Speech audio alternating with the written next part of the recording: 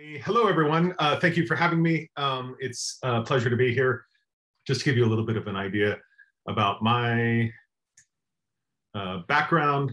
So uh, uh I am uh, currently the Adult Services Director of Park Avenue Neuropsychology, um, which is no Global Neuropsychology Solutions in New York.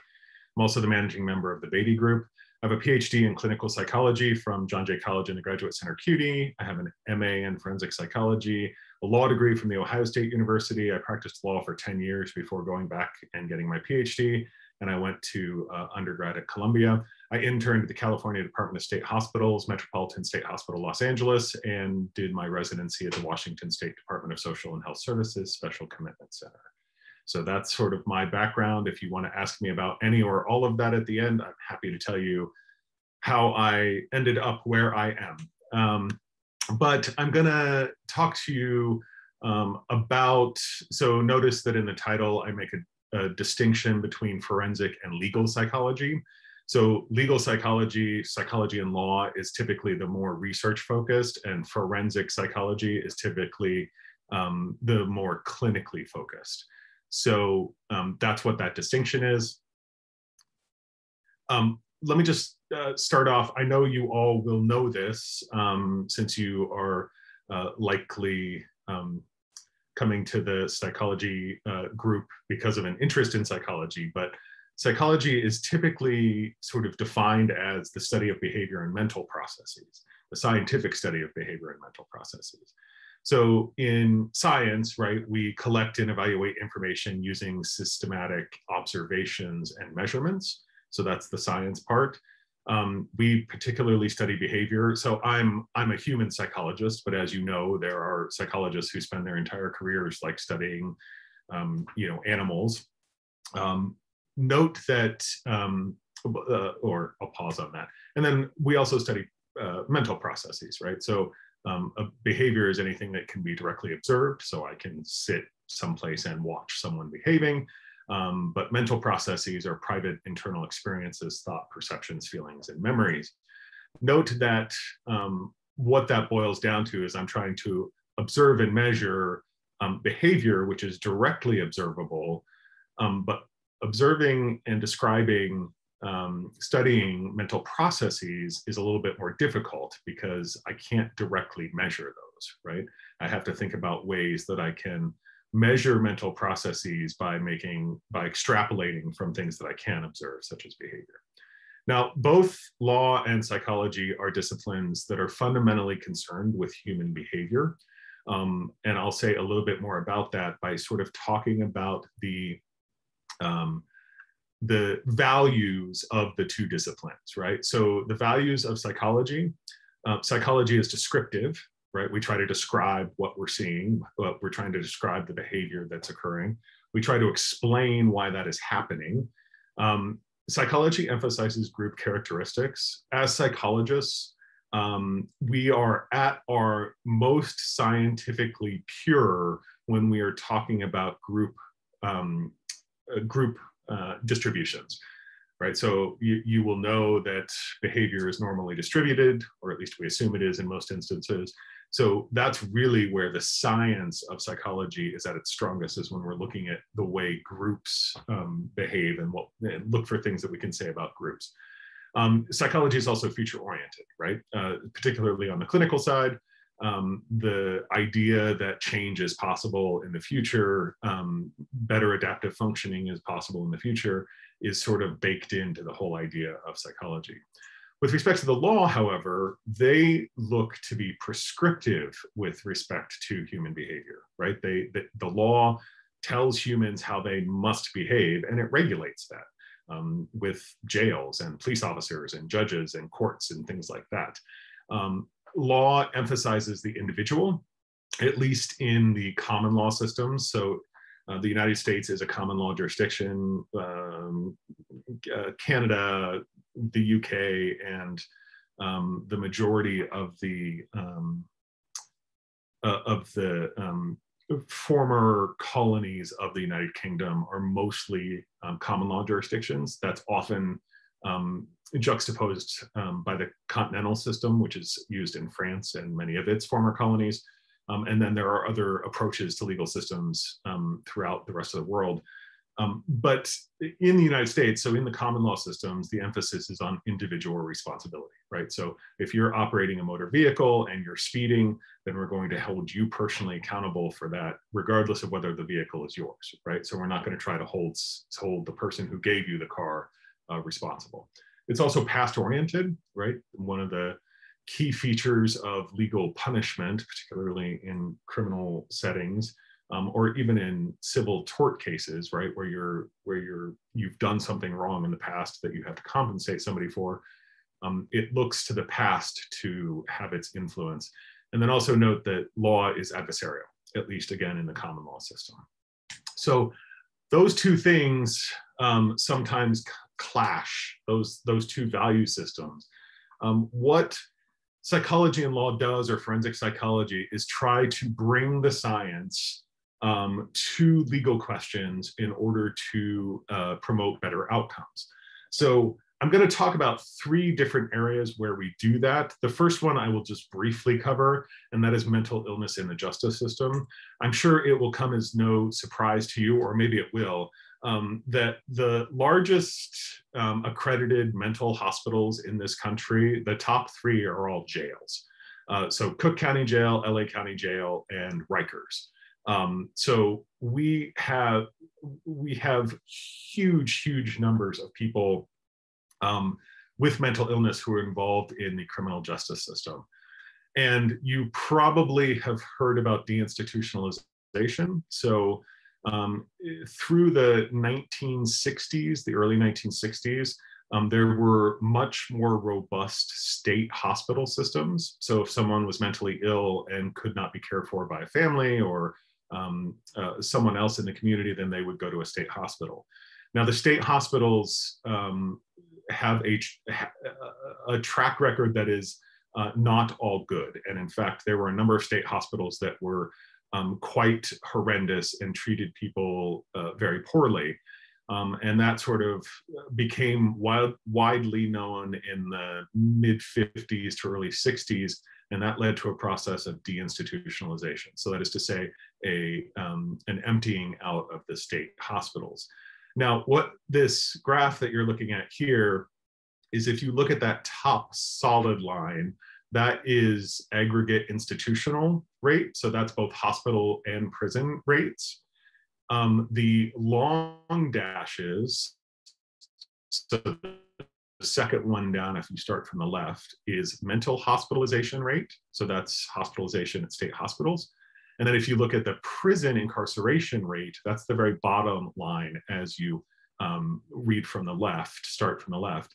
And what you can see is that as deinstitutionalization got started in the late 60s and then through the early 70s, and in fact in 1976, you see that the rate of people being admitted to mental health facilities drops dramatically, but um, the overall rate of institutionalization remains largely the same because the prison population starts to grow almost one to one for the deinstitutionalization. So um, that is why our jails and prisons are um, uh, very large mental health care facilities in many ways, um, because um, instead of um, as a society, instead of uh, finding ways to treat those people in the community, they often are incarcerated. So let me just also say, so this is the prison admission rate broken down by race. Um, so you can see that uh, the very bottom reading from the left um, is the orange is, is white uh, prison admission rates. The black is, uh, black people is green and then the ratio of white to black is that blue dotted line. Um, I just want to point out to you, this is roughly the same time scale of the, of the figure that I just showed you. So what I'm going to do is I'm going to superimpose those. So in case you have um, heard about um, the fact that African Americans and um, brown and black people in general are overrepresented in prison, um, that is absolutely true. And that also coincides uh, with the timing of the deinstitutionalization. I don't know that they're necessarily connected, but it's interesting to see that the um, disparity increases. one of the problems, so this is where my public policy role comes in. One of the problems with housing people um, with mental illness in correctional settings is um, that it is an incredibly expensive way to do it. Um, so uh, this is a statistic from uh, the, uh, the Bureau of Justice Statistics, which is part of the Department of Justice. So the corrections price tag uh, uh that is identified for uh, fiscal years 1982 to 2001 is 60 um, billion dollars. Is that one, two, three, four, five, six, seven, eight? No, no, 60. Yes, um, which is a lot of money. Um, let's just think about how much that is. So we can think about what a um, what a million dollars is, right? So um, a million dollars seems like a lot of money, but it's sort of like something that we can wrap our heads around. So I'm going to try to put that in context for you. I'll tell you that 1 million seconds is 11.6 days. Okay, so that's that's a million. We're talking about 60 billion here. Knowing what a million seconds is, how many days do you think a billion seconds is? So I'm trying to give you a conceptualization of how much larger a billion is than a million. Just in your own heads, come up with how many days you think a billion seconds is. All right. Well, I've done the math. So a billion seconds is 31.7 years. So when I'm right, the the the order of magnitude, um, as you can tell by the exponents, right, is uh, exponential when we start talking about um, millions versus billions. So 60 billion dollars a year is like real money that we could actually be putting to to different uses.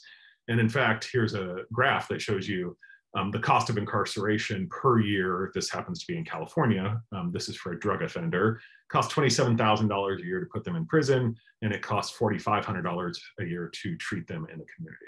Um, that's a difference of 83%. So we are paying 83% more than we need to to incarcerate rather than treat. Uh, just in case you wonder, so those graphs that I showed you ended in about 2000. Just in case you wonder if it's gotten better since then, here's 2000 to 2014 the population of mentally ill inmates, this is in, again in California, it's almost doubled over that time. So this is not a problem to which we have found a solution. All right, so that's the sort of clinical part of psychology and law. So there are psychologists who work, they're correctional psychologists. They work in prisons and in jails, and they provide treatment to individuals who are there. Um, there are masters prepared folks, so people with um, licensed mental health counselors, licensed independent clinical social workers, uh, licensed substance uh, use uh, and uh, substance use disorder counselors. All of those people are working in the jails. Um, and in fact, if you want to have a clinical role short of getting a doctorate, um, a lot of master's prepared folks find um, relatively high paying uh, jobs in uh, correctional settings. Now I'd like to talk to you about psychology and law. So this is the more research focused. And I know last year you had a presentation um, that focused on some of this. So this, this may be um, cumulative for some of you. Um, this is um, a statistic, it's a little bit old at the moment, it's from 2012. The Innocence Project is a, is a nonprofit pro bono legal service that has helped people who have been wrongly convicted of crimes um, seek release. And they report that what the graph that you're looking at is the percentage of cases where DNA has exonerated someone after they have been convicted. So they've been wrongfully convicted, exonerated by DNA. And this graphic um, that you're looking at tells you what the cause of the wrongful conviction was. So um, you'll note that the starting at your left again, over 70% of the convictions that have been overturned as a result of DNA evidence um, resulted from eyewitness misidentification.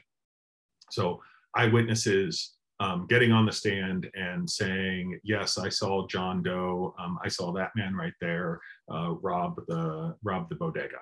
Um, forensic science problems uh, are also a major contributor. So that's things like bite marks and tool marks and uh, other things that don't have tons of empirical support, false confessions. Um, I'm not going to talk about false confessions, but that is its own whole sort of sub-discipline of psychology and law. And then uh, faulty informant testimony. So that's um, snitches um, testifying for reasons that were not based on the truth. Um, I'm going to focus on eyewitness uh, misidentification. Um, eyewitnesses um, are the single most, so many decades of research uh, into uh, jury decision making. Um, and juries find eyewitnesses to be the most persuasive form of evidence. Um, more persuasive than putting experts on the stand, more persuasive than the police officers. An eyewitness who is getting up and gets sworn in and says, Yes, I'm going to tell the truth, the whole truth, and nothing but the truth. Um, that is a very um, sort of compelling thing for a jury decision maker uh, to be seeing. Um, and the scary thing about memory, right? So eyewitness memory. Um, the scary thing about memory is that you can think that you are telling the truth, the whole truth, and nothing but the truth, and you can be wrong.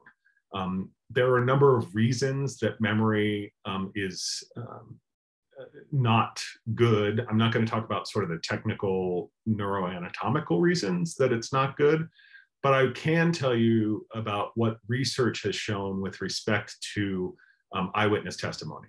Uh, the first uh, thing that I will mention to you is cross-racial identification. There is a cross-race effect in um, identification. This applies equally to everyone. Um, basically, you are better at identifying people of your own race than you are at identifying people of another race.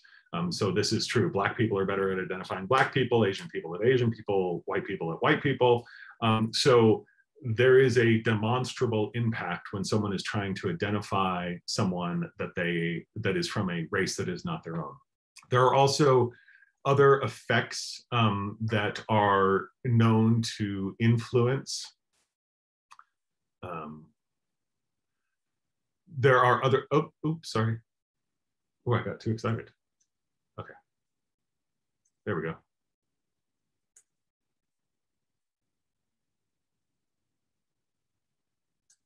Got distracted by something popping up on my screen.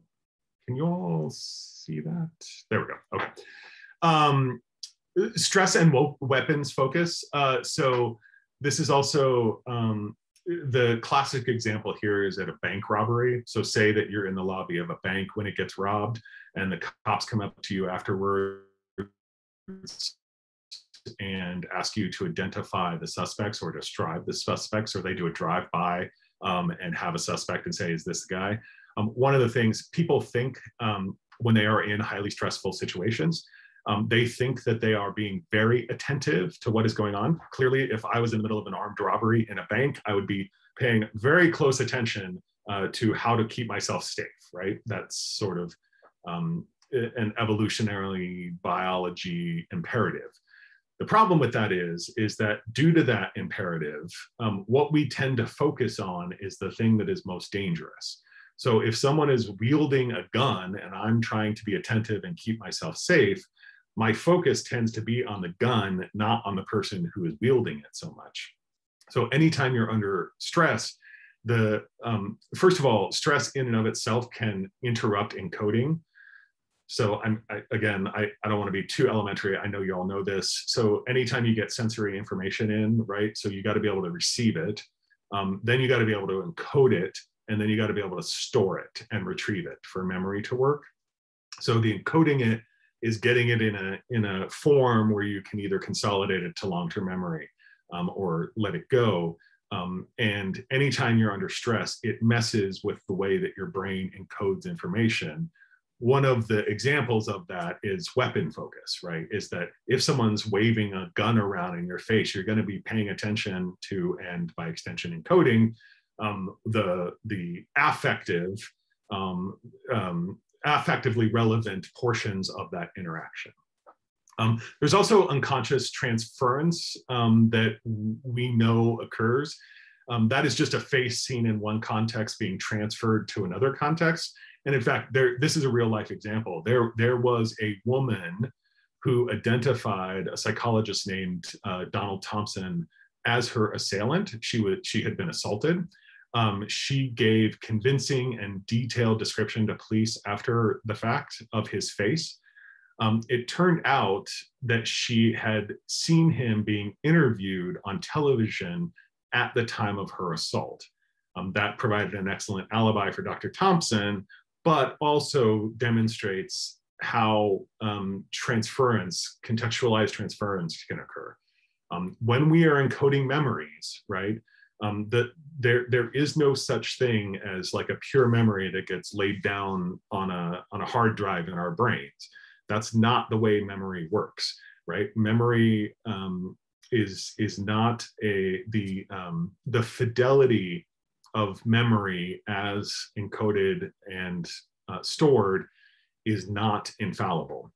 That's a concrete example of an instance where things went awry. Um, suggestive and leading comments uh, can also um, really interfere with eyewitness identification. So the classic example of this is a police officer uh, coming up to uh, the victim of a crime and saying, hey, I have this picture here. We think this is the guy who did it. They'll hand the picture to the individual. The individual will compare their memory of the person to that photo. And if it's close enough, they'll say, yes, this looks like the guy. The problem is, is that after that, when you ask them about their assailant, are they remembering the picture, right? Because remember, memory is, re- is constructive. So they've looked at this picture, tried to compare it to their memory, but then they've consolidated those two memories together, right? And stored them anew. So next time you ask for an identification, is, is there any way to tell um, to what extent the person is being influenced by the picture that they were shown by the police? Um, that's a real problem. So suggestive leading comments. Uh, pre-existing expectations, there are, as you know, um, the, the brain is very, very lazy. Uh, we use short, the brain will use shortcuts all the time um, to save itself cognitive uh, exertion. Um, and those can also influence what people believe they're seeing with respect to crimes. So beliefs about a sequence of actions in a case. So you can get temporal things wrong. You can have an honest witness who just reports things incorrectly because the events that they saw didn't follow the script in their head, right? And the heuristic, um, the fancy name for the script is the heuristic. The heuristic kicks in and that's what they sort of start to recite.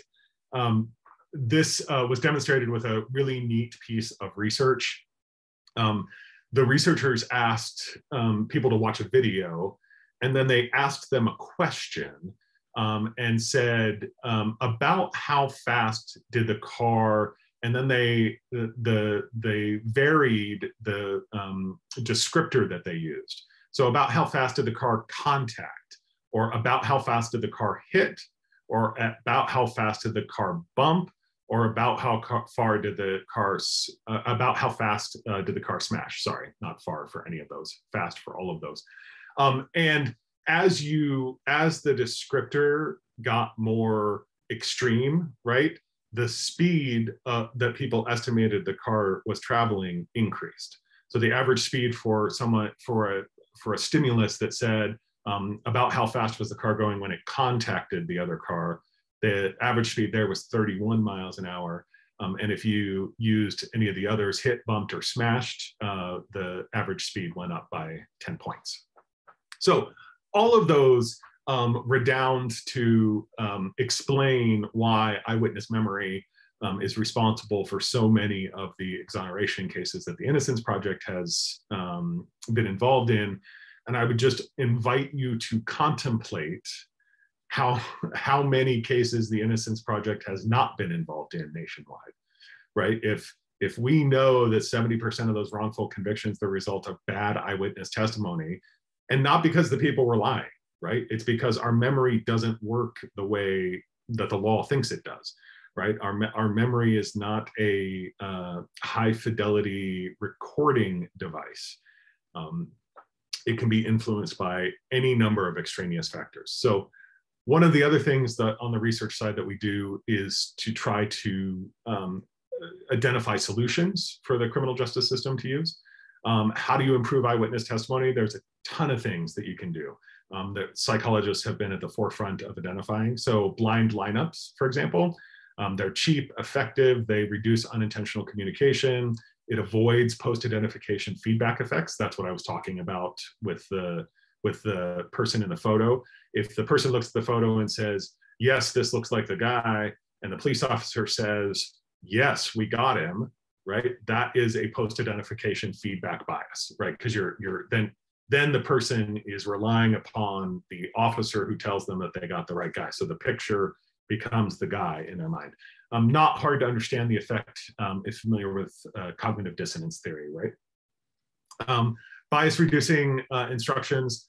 Um, so this is a this is a way of presenting um, mugshots to people um, in a way that reduces their bias. So one of the problems with a with a typical six pack, so that's the um, that's you see this on TV, right? The if you're trying to identify a suspect, you'll put people who look like them in a, a card, and you'll hand uh, six pictures to the person and say, "Hey, do you recognize any of these guys?"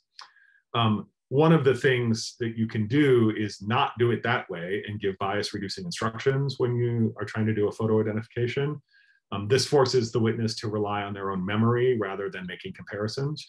Um, the true criminal, so an example of how you do that is um, some of them are actually presented in computer programs. So the computer program will say, um, the true criminal might not be in the lineup or the photo spread. And in fact, in some cases they're not, and they use a lot more than a six pack. Uh, unbiased lineup, um, actual suspect uh, should not stand out from the fillers. That's kind of obvious. Um, there's a thing called the mock witness test um, that can test this. Basically, the mock witness test is you pull somebody who doesn't know who your suspect is, um, and you ask them, um, which of these guys do you think did it? Right? They're they're coming in completely cold, and if you get a certain percentage of mock witnesses who are picking your actual suspect, then you know that the um, fillers are not matching closely enough. Confidence ratings have been explored, um, having witnesses indicate at the time of their initial identification how confident they are in the identification. Because as we've discussed, as time goes by, their memory is going to get more, um, their memory is going to be infected essentially by everything that happens afterwards. So if the person estimates at the time of their initial identification, I'm 60% sure, that could actually help give them wiggle room as they move forward um, if they then have questions about whether the person um, is actually the person they were trying to identify. Um, video recording, uh, sequential lineups, um, and then expert testimony about um, the fallibility of uh, memory. Uh, okay, so let me tell you about like one little piece of research that I did sort of um, in this same vein. So this is going to get a little technical and there's some some legal technicalities to it. Um, I will run through it. If you have questions, I'm happy to explain it or talk with you about it after this lecture. So in the United States, um, most criminal statutes require two things to occur. So they require an actus reus, that's a bad act, and they require a mens rea. And a mens rea is a culpable mental state. So um, a typical statute um, might say no person shall purposefully, that's the mens rea, right? So you're doing it on purpose, cause the death of another. Cause the death of another is the bad act, right? So if I say, if the statute says no person shall purposefully cause the death of, death of another, you know we're talking about murder, right? So that's how the law would say you can't murder people. You got a bad act that they're prohibiting, and you got a culpable mental state that has to go with that bad act, right? Because if you if you are driving perfectly legally down the road and someone jumps in front of your car, have you committed murder? No. Have you caused the death, death of another? Yes, right? So you got the bad act. But the reason that you're not culpable is because you didn't have a mens rea at the time right? You're you're doing everything exactly as you should and legally, um, and um, it's beyond your control. So, given the same act, we're talking about homicide. Uh, the person's level of culpability and the level of potential punishment is based on a judgment of the mens rea. Let me say a little bit more about that. So, um, mens rea is a hierarchical construct. Higher levels subsume all lower levels. So the lowest mens rea is negligent Um, if you do something negligently, it's without due care. Recklessly is the second lowest. Recklessly means um, it's a slightly higher burden, but you're act- knowing that something might happen, you act anyway. Knowingly, uh, uh yeah, no, sorry, uh, that was probably confusing. So recklessly means that you're aware of certain circumstances and yet you go ahead and proceed. Knowingly means that you're pretty sure that um, something bad is going to happen, and then purposefully speaks for itself. You're doing it on purpose. Those aren't exactly the way those work, but just for present purposes, those are the four mens res that you typically see in the United States. Note that mens rea is characterized by the legal system as a moral judgment of blameworthiness right? So from the law's perspective, a person perfectly innocently driving down the street, following all the laws, has a license, has title, has insurance, they're not speeding. If they hit somebody and kill them, then they are not morally to blame. So the law is not going to hold them um, to answer for that. From a behavioral science standpoint, right, just appreciate that what that's actually asking is for a retrospective social judgment about what the person was or was not thinking at the time they committed the illegal act. So let me show you why this is a problem. So just, just to make sure that we're all on the same page, we're talking about homicide, right? That's caused the death of another. We can have four different mens res attached to that. Purposefully, knowing, recklessness, and negligent, right? So no person shall purposefully cause the death of another, no person shall knowingly cause the death of another, no person shall recklessly cause the death of another. Now, under the criminal code, we call purposefully and knowingly, we call that murder. Recklessly, we call manslaughter. And negligent, we call negligent homicide. And negligent homicide is a misdemeanor in many jurisdictions. So here's the difference in time that you can be sentenced to for each of those. So we'll start from the bottom up this time. So negligent homicide is punishable from 30 to uh, 30 days to a year, right? So that's county jail, 30 days, um, and you're out. That's assuming that you were negligent in causing the death of another. Recklessly goes up to two to five, right? So that's man, manslaughter. You can have further distinctions, right? Like involuntary manslaughter is a common law offense. Um, murder uh, is three to 10 years, depending on the jurisdiction, it can be more. Um, and then first degree murder, uh, so this is second degree murder.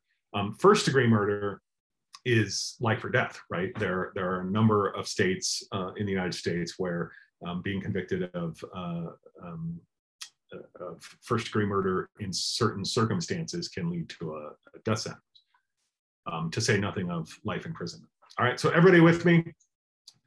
Um, one of the problems with that is we know that people called upon to make decisions um, do not always do so rigorously. This is um, empirical research on the psychology side that is relevant to um, to what we're talking about here. Um, some of the sort of foundational studies on how people make judgments about other people's behavior. Just appreciate that for a jury to make a decision, they have to consider the physical evidence, um, the testimonial evidence, and they have to decide whether that establishes the actus reus and the mens rea. Both of those have to occur at the same time beyond a reasonable doubt. So how good are juries at um, deciding what the mens rea was at the time of the offense? So this is a study that um, Mark Fondacaro at John Jay and I did together. Um, we wanted to know if we established a negligent mens rea, could we get people to say that what was actually established was a purposeful mens rea? So we wanted to see how much of a spread we could create before someone would say, no, I, they, they didn't act purposefully. So um, what we did is we uh, used some other research um, that had these scenarios that we gave to participants to read. And then we asked them, hey, um, what is the mens rea here? So we knew um, there had been validated um, vignettes that had a specific mens rea. So we took the negligent vignettes and we said to people, hey, um, did this person act purposefully? And we gave them the definitions of both negligent and purposeful. And 34.5% of respondents said yes. So we could get 34% of respondents to go from negligent to purpose. We tried negligent to knowing, we got 37% to go that far. So that actually does show that we're 3% better. So people were actually trying to make a distinction. From reckless to purpose, 75%. From knowing to purpose, 76%. Now, the largest yes um, in a single trial was from reckless to purpose. And on one of the vignettes, we got 90% of people to say that the person had acted purposefully in a situation where we know from a legal perspective they had just acted recklessly. Now, keep in mind that the difference between reckless and purpose is two to five versus a death penalty. All right. So, people making decisions with respect to mental states at the time of the offense, not that great. Um, people giving eyewitness testimony, not that great. People making eyewitness identifications, not that great.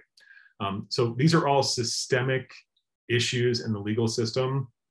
Um, and the cool thing about behavioral science, psychology, um, neuroscience is that we actually can have a lot to say um, about um, how the legal system is set up to make decisions um, and um, the errors that may be sort of baked into that system. So that is what psychology and law scholars do is psychology and law scholars do research like the study I just showed you um, to try to empirically demonstrate some of the errors that are baked into the legal system. Now I'm going to switch to forensic psychology. And forensic psychology is the clinical application of um, psychology within the, the judicial system. So basically, this is um, the the evaluations that I spend most of my time doing. So I'm I'm do do research, but I'm also mostly a clinical and forensic neuropsychologist. Um, the the bread and butter um, exams uh, that we do are competency to stand trial um, not guilty by reason of insanity, diminished capacity, mitigation, competency to be executed, sexually violent predator evaluations, uh, testamentary capacity, so that's your capacity to make a will, competence to waive Miranda, and then on the civil, so those are all sort of, um, with the exception of testamentary, um, all of the ones I mentioned so far are on the criminal side, and then on the civil side, so the non-criminal, um, emotional distress, disability um, evaluations, testamentary capacity. And then we also look at dissimulation or malingering. That's sort of one of the, the areas of expertise we have to develop as forensic folks. I want to point out a couple things to you. Um, first of all, you see that I have highlighted insanity in red on the screen and not guilty by reason of insanity. I do this to highlight the fact that as a psychologist coming to the legal system, um, I am constrained by the rules of the legal system. So the law gets to say um, that someone who is insane uh, is, is not held responsible in the some, same way as someone who's not insane. But as you all know, insanity is not a thing to a psychologist or a psychiatrist or like I can't diagnose someone as insane, right? It, it doesn't it doesn't mean anything to me as a behavioral scientist. Um, so it does have a legal meaning. So one of the things that we're always trying to do in clinical forensic psychology is to try to understand how we can answer a psycho-legal question, um, right? Where, where the question is asking us, is this person insane? And as a psychologist, I'm like, I, like, I don't, like, that doesn't mean anything to me. But um, to answer that psycholegal question, what behavioral science can I bring to bear on the question to help the decision maker, the judge, or the jury ultimately uh, decide? One other thing, I want to harken back to one of the very the the second, third slide I showed you. Note that competency to stand trial um, deals with a present capacity, right? Are they today competent to stand trial? Um, note that that can be a behavioral assessment, right? I can actually go in and test whether the person you know, has good memory, has good language skills, is able to um, inhibit impulses, can help their attorney. I can go in and assess all of those things about their current capacity. As soon as I move in away from that, a note that I'm making retrospective judgments. So, not guilty by reason of insanity means that at the time they committed the offense, they were insane. which means that I'm often asked to go back two, three, five years and try to figure out what their mental condition was at that time. So that is a less scientifically precise question for me to try to answer. Let me talk just about one of those examples. So competency, uh, eval, um, and I'm going to sort of um, highlight uh, uh, uh, with a practical example a lot of things that I, have just said. So uh, you uh, in the common law jurisdictions, you have to be competent to stand trial. So this originated in 17th century England, although um, the law of the um, Roman Empire, which is 30 BCE to 1453, recognized that an individual's ability to distinguish right from wrong was relevant to deciding the question of criminal culpability. Uh, common law from at least the 1300s has incorporated the same concept. Um, it's steadily evolved toward consideration of mental deficit rather than moral deficit.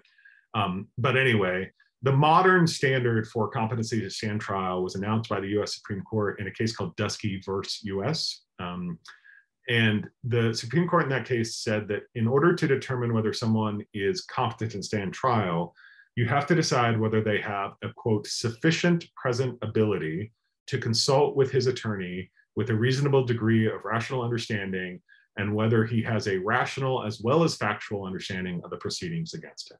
So that is the legal standard. So if somebody comes to me and says, hey, I want you to figure out if this guy is competent to stand trial, that is what I'm trying to answer. So the like I said, the law gets to set what the standard is. Um, you know, competency to stand trial is not in the DSM or the ICD. Um, you're not going to find a diagnosis anywhere for that. So this is why we have a specialization, right? We we answer psycho-legal questions.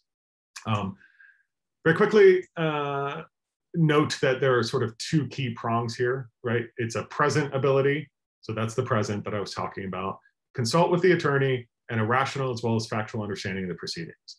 Well, again, I can't observe those directly, right, in any meaningful way.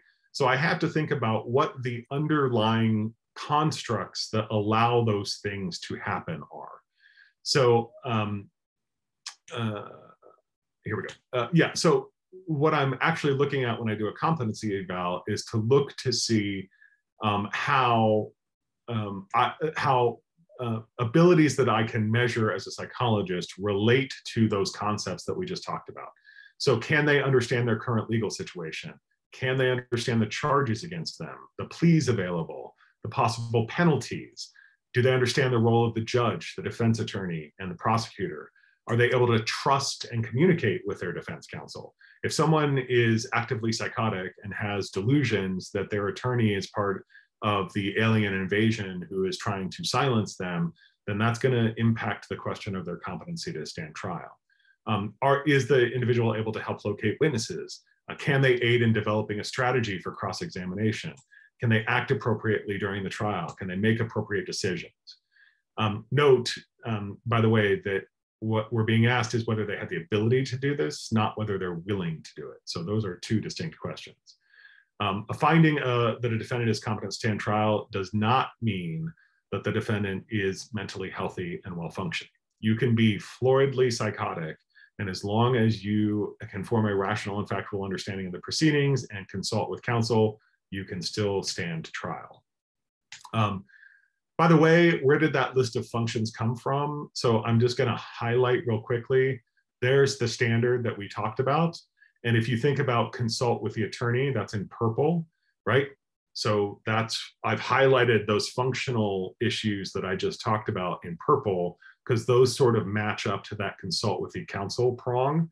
And I've also highlighted the rational as well as factual understanding of the proceedings in orange, right? Because that's, those are sort of functional elements of the, um, of the, the rational and factual understanding prong.